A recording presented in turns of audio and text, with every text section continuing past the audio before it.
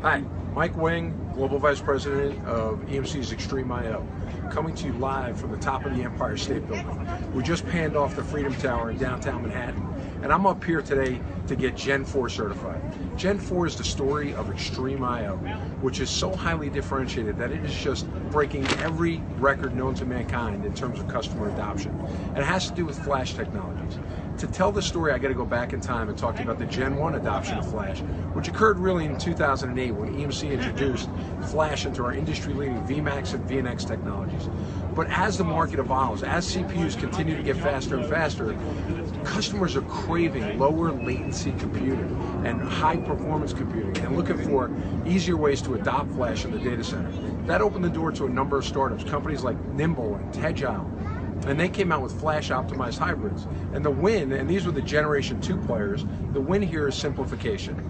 Instead of having to figure out how much flash, how much uh, spinning disk you needed in the array, they came in with a prepackaged appliance and it was really easy to deploy, but there was no scale. It was still a single, uh, typically an active, one single active controller, a dual controller scale up architecture focused on small to mid-sized companies.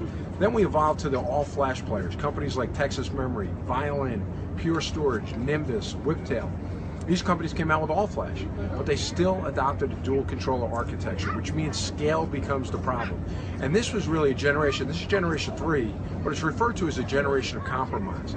You had to choose between the all flash players with no data services, but pretty good performance, or you had to sacrifice performance and take data services. And that was the challenge. And so now we come along in November of 2013, we go right into the market leadership position. Customers are adopting this technology of XtremIO at, at, at an incredible rate. We have over 1,400 customers, well over 3,000 systems shipped.